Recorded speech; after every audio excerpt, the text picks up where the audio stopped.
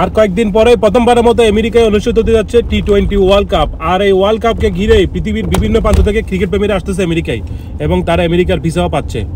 অনেকেরই ধারণা, কোনো দেশ না ঘুরে নাকি আমেরিকায় আসা যায় না, আগে কয়েকটা দেশ ঘুরতে হবে, তাহলে আমেরিকার ভিসা পাওয়া যাবে। এই ধারণাটা পুরোপুরি ভুল। সাদা পাসপোর্টে অনেকে আসতেছে, বিশেষ করে এই যে ক্রিকেট টুর্নামেন্টকে ঘিরে ক্রিকেট খেলা দেখার জন্য অনেকেই আসতেছে। আর এই ভিসা পাওয়া না পাওয়াটা পুরোপুরি ডিপেন্ড করতেছে ভিসা অফিসারের উপর যে আপনার ইন্টারভিউটা নিবে। অনেকেই আছে কয়েকটা দেশ ভ্রমণ করছে, কিন্তু তার ভিসাটা রিফিউজ হয়ে গেছে। আবার অনেকেই আছে, দেশ ভ্রমণ করছে, অনেকগুলা ভিসাও পাইছে। অনেকেরই আছে সাদা পাসপোর্ট কোনো দেশ ভ্রমণ করা নাই, তারাও ভিসা পাচ্ছে। আবার এটাও হইতে পারে, সাদা পাসপোর্ট কোনো দেশে ভ্রমণ করা নাই, ভিসাও হয় নাই।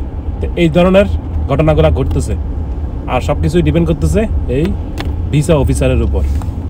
আর এখানে একটা জিনিস লক্ষণীয় ব্যাপার হচ্ছে যে আপনার অ্যাটিটিউড বডি ল্যাঙ্গুয়েজ আপনার কথাবার্তার ধরন, এগুলো কিন্তু অনেকাংশে ডিপেন্ড করে এই যে ভিসা পাওয়া, না পাওয়াটা। আর ইন্টারভিউ অফিসারটা ইন্টারভিউ নেওয়ার সময় যদি আপনার কথাবার্তায় স্যাটিসফাইড থাকে, তাহলে কিন্তু তারা ভিসা দিতে কোনো রকম কার্পণ্য করে না। বিশেষ করে B one B two category যে ভিসা আছে মানে ট্যুরিস্ট অথবা ভিজিট ভিসা এই ভিসার এমন কোনো রিকোয়ারমেন্ট নাই যে আপনাকে ফুলফিল করতে হবে। এই যে দেশ ঘোরার ক্ষেত্রে যে কথাটা বলতেছিলাম, এখানে অ্যাপ্লিকেশন অ্যাপ্লাই করার সময় কোনো রকম, কোনো জায়গায় লেখা নাই, আপনাকে দেশ ভ্রমণ করতে হবে। তো এই ধারণাটা পুরোপুরি ভুল। আর এখন কিন্তু সব কিছু অনলাইনে করা যায়, বিশেষ করে আমেরিকার ভিসার জন্য যত রকম অ্যাপ্লিকেশন কিংবা যাবতীয় ডকুমেন্ট সাবমিট করার প্রয়োজন সব কিছু অনলাইনে করতে পারবেন।